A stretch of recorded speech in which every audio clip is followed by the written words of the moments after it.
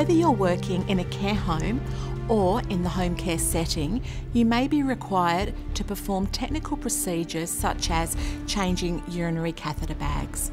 There can be a range of urinary catheter bags available, so know what system you're using. You may be required to perform procedures such as checking their blood pressure. By understanding the process and following good practice, you can help minimise complications or potential problems and help to maintain their good health.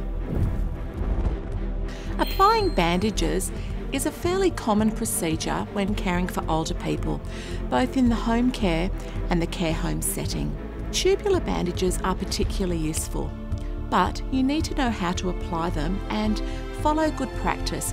The aim of tubular bandages is to provide protection and prevent injuries and to provide comfort and healing. By following good practice and understanding the process, you can help to minimise the risk to the client and maintain their good health.